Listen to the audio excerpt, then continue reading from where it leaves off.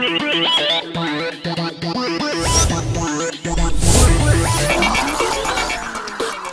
right, welcome to the Health Ranger Report. This is Mike Adam of the Health Ranger, reporting for naturalnews.com. Today we have some new information, breaking news from a medical journal called Cell Research. This is news about the dangers of genetically modified foods, and this is new information. This shows the mechanism by which genetically modified foods, or, or GM foods, or GE foods, genetically engineered, may alter your organ function. You see, in the past, Monsanto has said that genetically modified seeds and foods are presumed to be safe, presumed safe. It doesn't mean they're proven safe. In fact, right here from the Monsanto website, a couple of quotes you need to know. Here it is. Monsanto says, quote, there is no need to test the safety of DNA introduced into genetically modified crops. And they go on to say, there is no need for or value in testing the safety of GM foods in humans. So you see, Monsanto has a position that they don't even need to test the safety of these genetically modified foods because it doesn't even matter. But now, here in Cell Research, we have a new study called the exogenous plant MIR16A. That is a uh, microRNA study that we're talking about here. Specifically targets mammalian LDL-RAP1. That's a receptor for LDL cholesterol uh, function in the liver, evidence of cross-kingdom regulation by microRNA. Now, it means that microRNA, which is information, it is genetic information, has now been found to pass from the foods through digestion into your blood and then to attach onto your organs. You got that? It goes from the food through digestion into your blood and attaches onto your organs, and there it modifies the function and the expression of those organs. This is groundbreaking science. This nullifies the safety claims of Monsanto. And it means that we are more than just the vitamins and minerals and fiber and carbohydrates and proteins that we eat. It means we are also eating information. You got that? We're eating information because DNA and RNA is information. So when we're eating this microRNA, it's surviving that process and then providing information to the cells and the organs in our body. Maybe this is why GMOs are causing such widespread infertility because the microRNA is attaching to the receptor sites of the fertility organs and altering the expression or the function of those fertility organs. Let me read you some more from the study because it's quite, it's quite fascinating. This is in the abstract of the study, which again was published in the September 20th edition, uh, 2011, of Cell Research. The abstract says, quote, here we report the surprising findings that exogenous plant microRNAs are present in the sera, that means the blood serum, and tissues of various animals, and that these exogenous plant microRNAs are primarily acquired orally through food intake. That, again, is breaking science. It changes everything. You see, you already know you are what you eat. And normally that means you are the vitamins and the minerals and the other nutrients that you consume. We know that that's true on a physical level or even a biochemical level. But what about the information that you eat? Are you also the information? The answer is yes, and this is again a whole new realm of science. When a predator is consumed by uh, I'm sorry, when a predator consumes prey, there is a predator slash prey relationship where there is a transfer of information from the prey to the predator.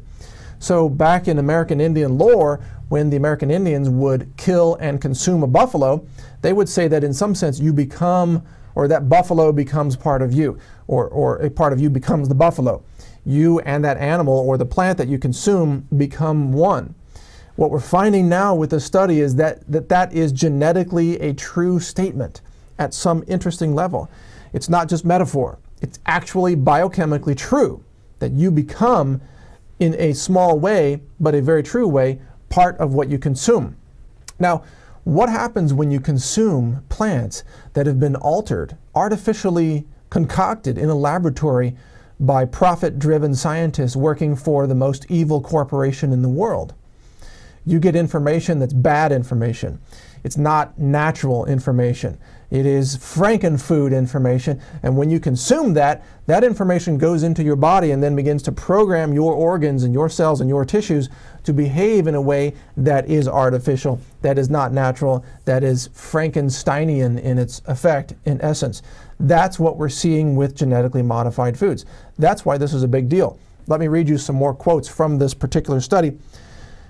It says that these, this MIR 16A at 168A could bind to the human mouse low density lipoprotein receptor, those, that's the LDL uh, cholesterol receptors, uh, adaptor protein, inhibit LDL, LDL RAP1 expression in the liver. Again, this is altering the, your liver function in terms of regulating cholesterol and consequently decrease LDL removal from mouse plasma. What that means is that you would have high LDL levels in your blood. These findings demonstrate that exogenous plant microRNA in food can regulate the expression of target genes in mammals. You got that? If you truly understand what's being said here, your jaw should be dropping to the floor. It's that big of a deal. This is huge. It means that, again, eating these genetically modified foods and crops can alter the expression of your organs. MicroRNAs have been widely shown to modulate various critical biological processes, including differentiation, that's cell specialization, apoptosis, which is part of the cancer prevention process in human normal human cell metabolism, proliferation, the immune response, and the maintenance of cell and tissue identity. Now, that's another crucial statement. What do you get when your cell doesn't remember what identity it's supposed to express? You get a DNA mutation that results in the formation of a cancer uh, a cancer cell that goes on to become a cancer tumor. So, what we are seeing here now, written in this paper in language that's, that's very technical, but if you understand it in layman's terms, it means simply this. If you eat genetically modified foods, you are absorbing information from those foods that can potentially cause cancer in your body. It can alter the expression, the function of your organs, such as the liver and possibly, in fact, very likely, many other organs, including your brain, including fertility organs, including your kidneys, perhaps even your heart. In other words, the more genetically modified food you consume, the less human you become. That is, is a shocking but true statement. By eating this information, you are becoming less human and less natural. It's literally altering, altering the expression of your body and your body's tissues. Going on in this study, again published in Cell research, it goes on to state that this has the potential to selectively interact with specific target cells and mediate intracellular communication. That's, oh, wow. The secreted microRNAs can serve as a novel class of signaling molecules in mediating intra or intercellular communication. In other words, it can interfere with the cell signals between, between your cells. And as Dr. Bruce Lipton wrote about in The Biology of Belief, it is the outside of the cell the cell membrane that is much of the intelligence of your whole system. It is, it is the intelligence that, that tells the inside of the cell what to do based on what's happening in, in its environment. And what this study is showing is that, again, eating GMOs and genetically engineered foods can alter what signals your cells are receiving. Now, why does this matter? Here's a picture of BT corn. BT corn is a genetically modified variety of corn. It's grown throughout North America and around the world, in fact, and most of the corn that's harvested in America today is BT corn. BT is genetically engineered to produce an insecticide chemical in its own kernels. Yeah, an insecticide. An insecticide that kills insects by causing neurological damage. Now, inside the BT corn G, uh, DNA, there is coding, artificial programming, you might say, for it to synthesize the, this insecticide in its own kernels. That way, when insects eat the corn, they die of neurological poisoning. So that way the insects don't eat the corn and then they harvest the corn and they use it to make high fructose corn syrup. They use it to feed cattle. They use it to make your corn flake breakfast cereals and your corn tortillas and your corn soup and everything else that you're eating at the grocery store that's not USDA organic. Got that? If it's not non-GMO, it's probably BT corn. What this means, and I hope you truly get this, I hope you really, really understand this point. That's why I'm spending so much time on this. Based on this study, now we have the understanding of a mechanism by which you might eat BT corn and you might become a person who is now coded or programmed to produce insecticide in your own body. You understand that? That's a very big deal. In other words, the microRNA that is coding for the production of neurologically damaging insecticides in the corn could pass through digestion. It could get into your blood. It could get into your digestive tract. It could perhaps even attach to various organs in your body. It could, in fact, transfer into the so-called friendly flora that in, inhabits your intestinal tract. And those bacteria could then begin producing Bt insecticide in your own gut. That would cause you to start producing poison and suffering the symptoms of that poison inside your own gut. You could, in, in other words, become a pesticide factory. Again, remember when I said the more you eat of this, the less human you become. You're becoming less human and more factory more pesticide factory.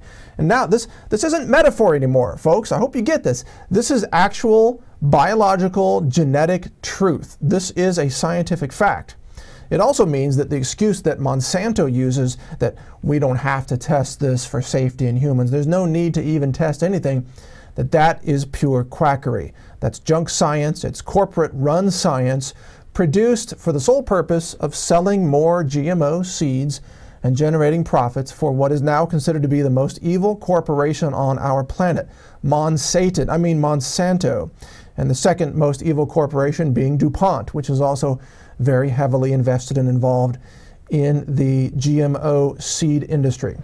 So I hope you're getting this. In fact, this was covered by a story in The Atlantic, which is entitled, as you can see here, The Very Real Dangers of Genetically Modified Foods.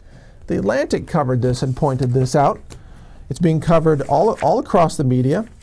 Uh, Monsanto is denying this, but the science is now providing the explanation for the mechanism by which GMO foods can poison you. And in fact, again, code your body to produce poisons internally. So that's what you need to know. Now, stay informed about this. Keep watching naturalnews.tv where, where we will be posting these videos. We're also posting this audio on soundcloud.com. Share this video if you're watching if you're seeing this on YouTube, share it there. Get this information out to other people. I also want to encourage you to, to read naturalnews.com, where I serve as the editor, and we publish about 10 stories a day now from various authors, investigative stories about health issues that are important for you, your family, your children, and the future of our world. We're into sustainable living, we're into green living, we're also into health freedom. Uh, in addition, I want to encourage you to support Jeffrey Smith and his efforts at the Institute for Responsible Technology the IRT. His website is responsibletechnology.org. And also uh, help support Ronnie Cummins at the Organic Consumers Association, who helps fight against GMOs. He is at organicconsumers.org. And uh, by the way, you can find some other videos that we've done at foodinvestigations.com, including a, a, video about fake blueberries being used in breakfast cereals. There's going to be a lot more coming out this year, 2012, from myself, Mike Adams, and the Natural News production team. In fact, we're filming this in our new studio where we can bring you this information in a timely and professional way. Thank you for watching, and uh, please share this video. This is Mike Adams, the Health Ranger, reporting on GMOs for naturalnews.com. Take care.